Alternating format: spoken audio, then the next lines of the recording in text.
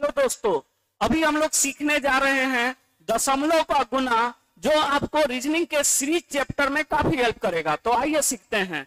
जैसे ये 8 into two है तो आपको क्या करना है? इस 2.5 को दो पार्ट में ब्रेक कर देना है। कितना में?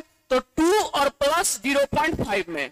अब एक बार अगर हम 8 इंटू टू करें तो 8 इंटू टू सिक्सटीन और फिर 8 का आधा कितना? चार।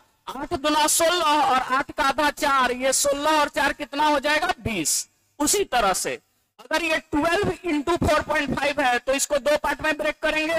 बारह गुना चार, अड़तालीस और बारह का आधा कितना? छह। फोर्टी एट और सिक्स कितना हो जाएगा बाबू? फिफ्टी फोर ये fifteen into three point five है तो क्या करेंगे? पंद्रह तिया पैंतालीस और पंद्रह का आधा साढ़े सात। ये क्या हो जाएगा? पैंतालीस और साढ़े सात फिफ्टी टू पॉइंट फाइव